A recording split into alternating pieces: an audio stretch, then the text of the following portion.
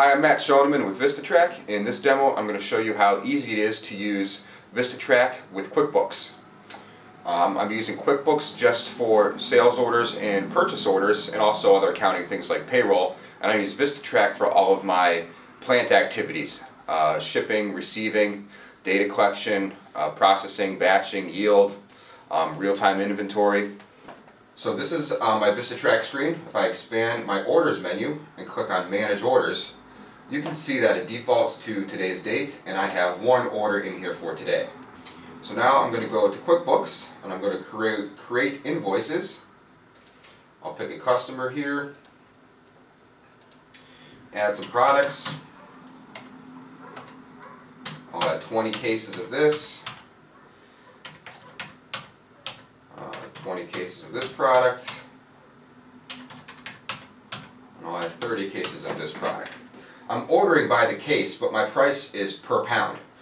VistaTrac works great for food companies because it allows you to order by the case, but um, ship by the catch weight. So if I order 20 cases, I'm scanning 20 catch weight cases, and VistaTrac is going to report the quantity back to QuickBooks as the total of all those catch weights.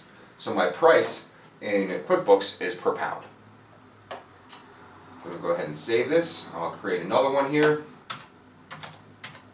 Save this. And I'll do a third one real quick. So I just created three orders in QuickBooks. So now when I go back to my Manage Orders screen, I can see I now have four orders.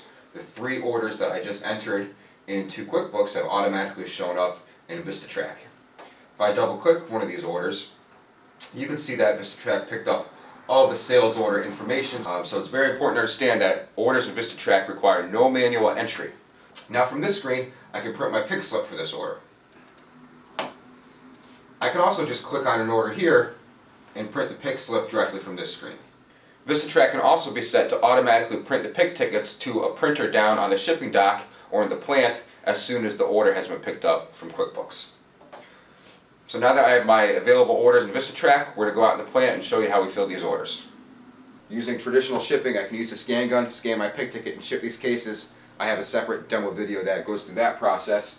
But for this demo, I'm going to do pack to order. So right on the packing line, I'm going to pack cases and assign them, mark them as sold directly on this order. All I have to do is take my attached scanner and scan my pick ticket. This automatically loads this order and I can see the two different items that are listed on this order. So I can pick which one I want to pack here and just run through the prompts really quick. There's custom prompts in VistaTrac. The first one for this particular setup is country of origin. The next one I have in here is temperature. This is for a seafood company. We store all the tare weights in VistaTrac and the product setup. The pack date defaults to today's date. Now it asks me to enter a batch number. This particular configuration has our batching module. It's used to track raw material usage and processing yield. So I'll select the batch here. And I press yes to confirm everything I've selected. So now I'm packing directly to order number 1019. So all I have to do is put some weight on my scale and press print on my scale head. I automatically get a label for this product. You can see I've labeled one case, I got 49 to go, because remember my order is for 50 cases, but they're catch weight cases. So I'll go ahead and print a couple more of these. Okay, so now I've packed four catch weight cases to this order. I'm just going to say exit. I'm going to scan the same order again. Pick my next item.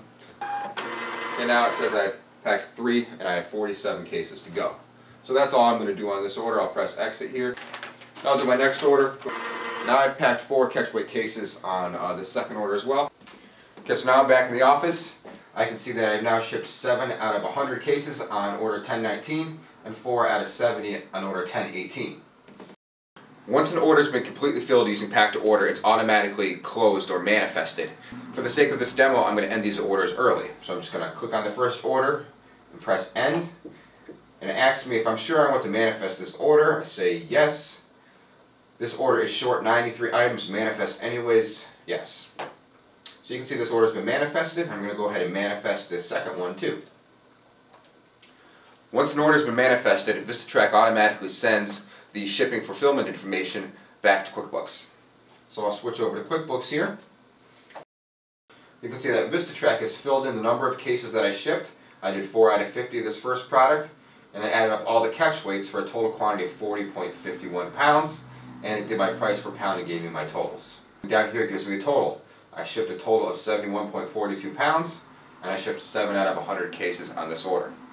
So you can see VistaTrac not only saves a lot of time out on the plant floor, but it also saved me a lot of time here in the office because I didn't have to go back and manually update the quantities that were shipped on this order.